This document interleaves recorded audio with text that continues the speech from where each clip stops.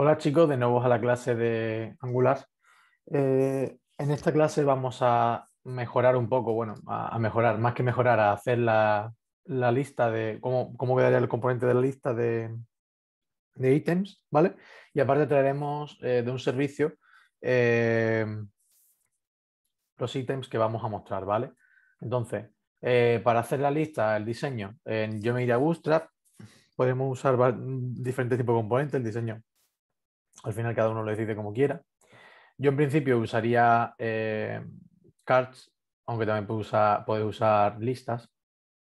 me gustan mucho las cards para mostrar cosas.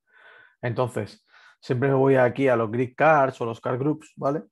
Eh, entonces, eh, por ejemplo, este es muy cómodo con rows y tal.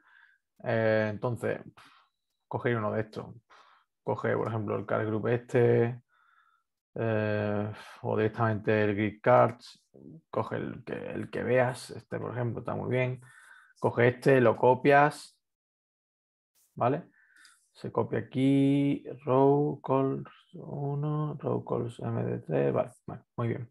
Entonces, coges este, lo copias, lo, traes aquí al, al, componente, que en este caso es este, items list, vale, sí, perfecto. Y mm, lo copiamos. Entonces, aquí ya tenemos en nuestro componente las, las carpetas. Bueno, vamos a coger una imagen cualquiera. Vamos a poner aquí Funko Naruto, venga. Vamos a coger cualquiera. Y una página que creo que, no, que nos permita coger la imagen. Esta, por ejemplo, eh, hay imagen en una pestaña nueva. Vale, perfecto. Esta imagen nos vale. Copiamos aquí fuera. Y aquí cogemos la imagen, le decimos que en el SRC me ponga esto esto, esto y esto, ¿vale? Entonces, más o menos mm, quedaría algo así nuestro mm, componente. Como veis, hay un poco espacio con, los, con esto, entonces le podemos dar aquí eh, al item list en el home, le damos un poco de espacio aquí. Vamos a poner aquí un div, le decimos que clase eh, mt 3, eh, como recordáis lo vimos en la clase anterior, lo del MT que es margin top y 3 es una, una cantidad de espacio que, que tiene definido eh, Bootstrap. Ya tenemos aquí una separación, aquí tenemos nuestras cards con un tamaño bastante considerable, que está genial. Y por último, como mucho, podríamos añadir aquí a la car un botón, ¿vale? Para el tema de completar o si ha sido comprado, lo que sea. En principio, ese botón no lo vamos a usar nunca, pero por dejar el diseño más o menos completo. Entonces aquí ponemos un button, eh, clase btn, btn danger, por, ejemplo, que va a ser rojo. Vamos a ver. Ah, no lo he puesto clase, lo he puesto aquí a fuego. Eh, vale, btn, btn danger. Vale. A ver si me lo coge. Aquí el botón le decimos que va a ser eh, comprado o comprado. O si le damos ya aparecerá en la otra lista. No me sale. Bueno, aquí me sale en el último, perfecto. Entonces aquí sería el button. Aquí el button se pondría en todos los sitios. Vale. Y vale. Si no me he equivocado, todo tiene que tener. Perfecto. Entonces ya tenemos aquí nuestra lista con nuestra imagen y demás. Eh, vamos a dejar también listo el tema de los ng4 porque esto está, esto, veis, es código súper duplicado. ¿Para qué queremos tantas veces código duplicado? Entonces, esto lo vamos a borrar. Y vamos a crear aquí un ng4, que es una, eh, es una estructura de iteración en Angular para el templating. Es ng4. Es muy, muy similar a, un for de, de, JavaScript. Let i, bueno, de hecho es JavaScript. Let i of. Y aquí ponemos un array de items, el que sea. 1, 1, 1, 1, 1, los que sean, da igual. Vamos a poner una cantidad eh, definida por vosotros y aquí ya directamente, como veis, se nos crean todas las cartas. Y ya está, vamos a dejar el diseño este aquí así tal cual, ¿vale? Mm, si damos a uno u otro van a salir. Podríamos darle aquí un título, porque es verdad que no tenemos ninguna diferenciación entre una y otra. Vamos a poner aquí un, un div o simplemente un h1. Le decimos aquí que eh,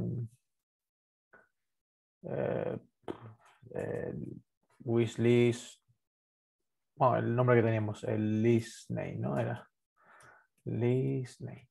Vale. Entonces aquí tenemos completed list o wishlist. Podemos esto mejorarlo, poner que sea en español y demás. Eh, de hecho, mm, vamos rápidamente a ver un pipe. Los pipes son modificaciones que hacemos directamente en el, en el HTML, ¿vale? Eh, y solo se transforma eh, este código en el HTML. Es una transformación solo visual. Mm, podemos usar algunos que ya están pregenerados por Angular, o sea, ya creados por la comunidad, y otros que ya debemos crear nosotros, que esto se va un poco de madre en el curso, si eso podríamos verlo, no sé si lo veremos más adelante en algún ejercicio, eh, pero en principio no es, necesario, no es necesario. Entonces creo que es uppercase, ¿vale? Uno de ellos, y veis, esto me lo pone aquí, y no sé si hay uno que en vez de uppercase sea capitalize, capi... no recuerdo bien, entonces, eh, Angular, Angular pipe capitalize o. ¿vale? Title case pipe, ¿vale? Title case pipe. Entonces ponemos esto y eh, veis, me capitaliza la primera y esto vamos a centrarlo, eh, para centrarlo, como no recuerdo muy bien, eh, todos los helpers que tenemos, voy a ver si tenemos algo de texto por aquí, utilities, flex, float, float puede ser. De text, text, text, text, text. Vale, center. Vale, hay un text center. Creo que con esto quizá me valga. Vamos aquí al código. H1, clase, text center. Y ahí está. Perfecto. Entonces tenemos aquí nuestro lead título con, con diferentes listas y nos cargan una y otra. Perfecto. Vale, chicos. Pues ahora vamos al tema de los servicios, ¿vale? Eh, esto también va a ser muy sencillito. Para crear un servicio, ¿cómo lo usamos? A Angular CLI. Siempre tenemos algo para crear cosas genéricas de Angular. NG, G, si hay un servicio, por donde eh, service en inglés, que se usaremos S, y nuestro servicio lo vamos a llamar item, ¿vale? Pero no lo vamos a crear, eh, esto no lo vamos a crear en el raíz. nosotros queremos que esté bajo una carpeta se llama services, ¿vale? y le llamaremos item. Vamos a hacer un menos D para ver que se verifique que lo creamos bien. Y se crea src app Vale, perfecto. Esto, genial. Vale, esto nos crea aquí el servicio. Vamos a cerrar aquí cositas. Vamos a ir abriendo de nuevo.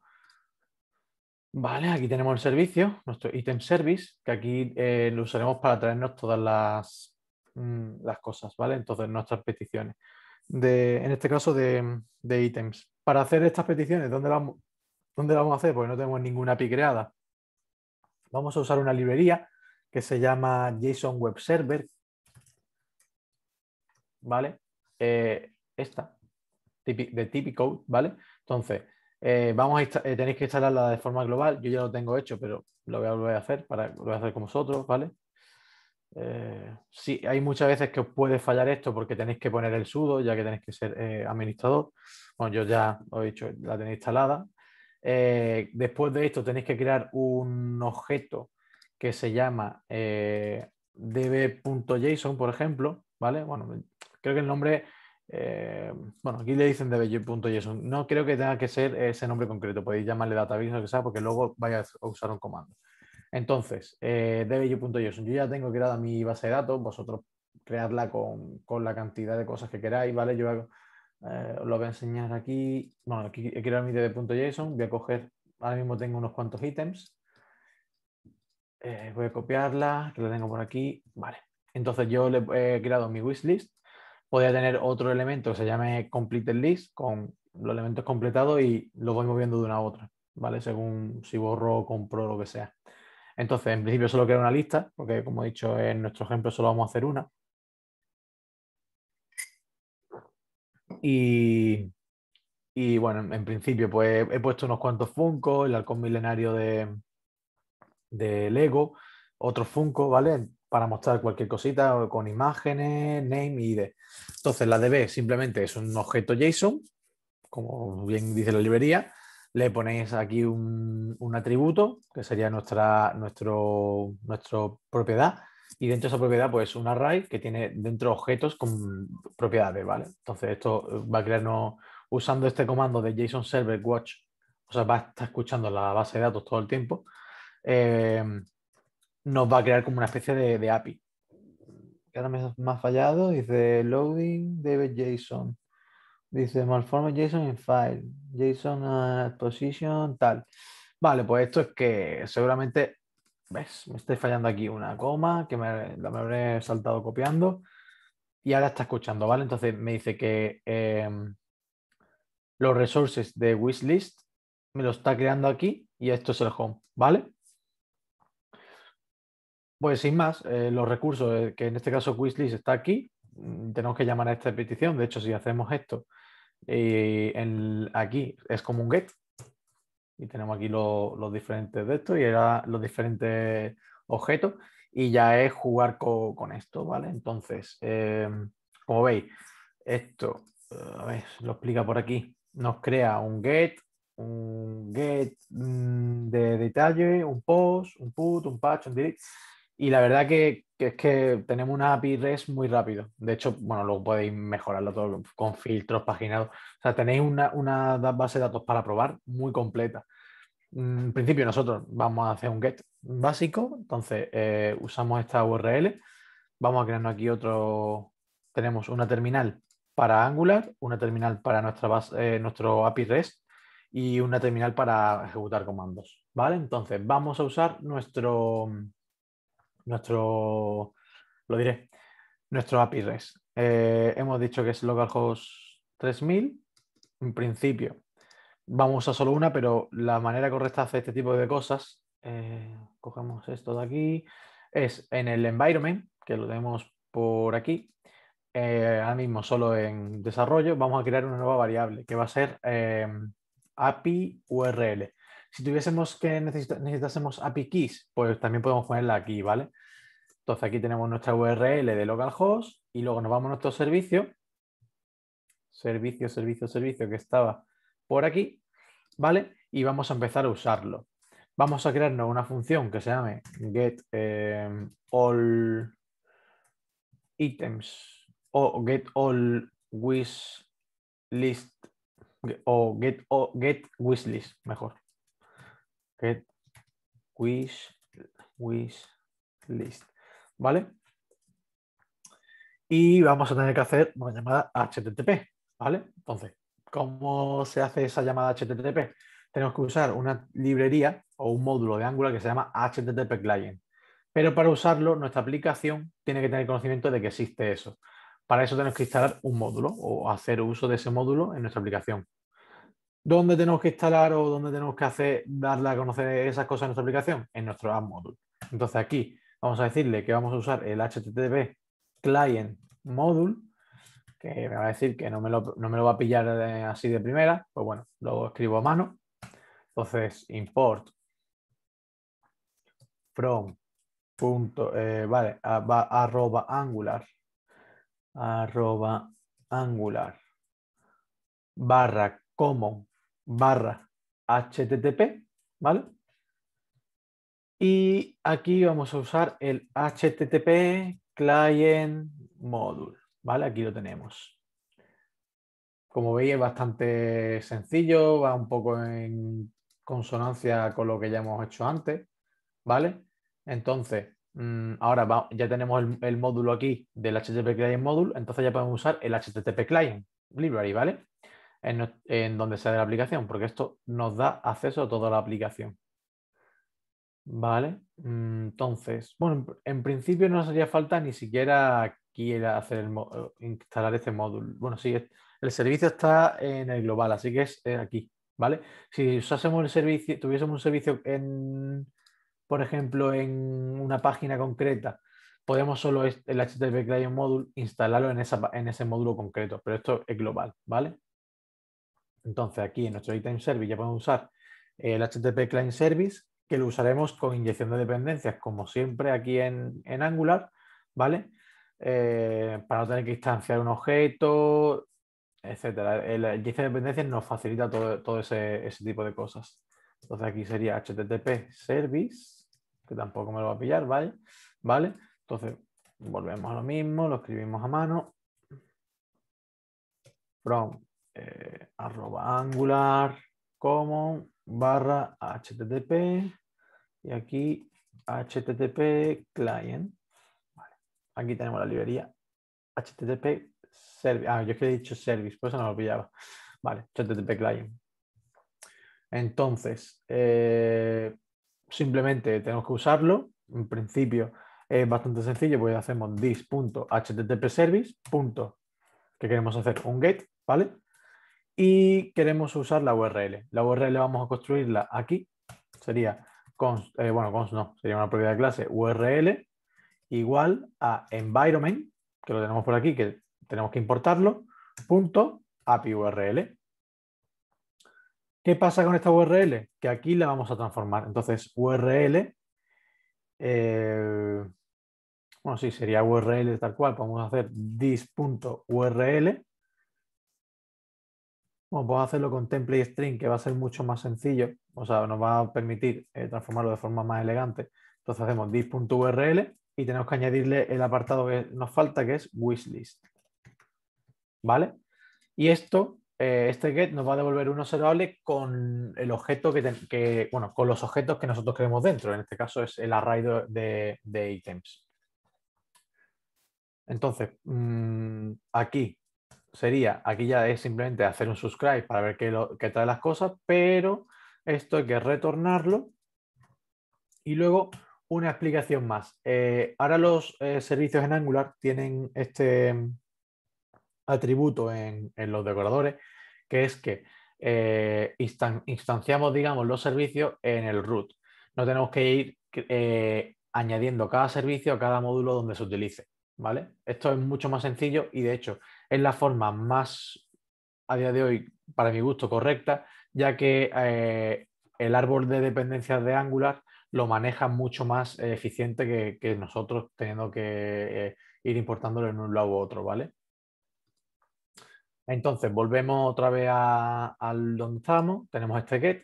Esto donde lo vamos a hacer uso de él, este, de este servicio. Vamos a hacer uso de él en el home, en el ítem, ¿vale? En el item list. La tenemos por aquí en pages, en el item list. Vamos a hacer uso de este servicio aquí en el component. Entonces, tenemos que hacer también uso de dependencia para llamar a este servicio, private read only eh, item service. Entonces le llamamos item service. Y aquí, cuando en el engine cuando queremos cargar el componente, le decimos que queremos cargar este item service.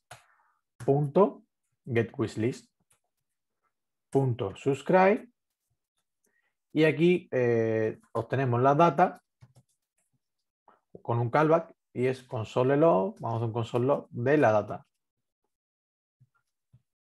¿vale? Como veis, esto mm, es bastante sencillo. Vámonos a nuestra aplicación, que está aquí. Eh, aquí. Y me dice que wishlist, ah, porque tiene dos barras, ¿vale? La, la, URL. Entonces nos vamos aquí al servicio. Esta barra nos está sobrando porque ya el dis.url, o sea, el environment URL ya tiene una barra aquí al final. La borramos y nos dice que localhost 3000 wishlist no está, eh, vale, me habría equivocado al escribirlo, wishlist, vamos a copiarlo tal cual. Vale, es que lo había escrito mal, vale, entonces, de hecho es que he escrito mal este, ¿no? Wishlist, vale, anyway, vamos a ver si ahora funciona. Sí, va, está mal escrito el este, pero eh, luego lo modificaré. Vale, aquí tenemos los cuatro ítems y ya podemos usarlos, que lo veremos en la próxima clase.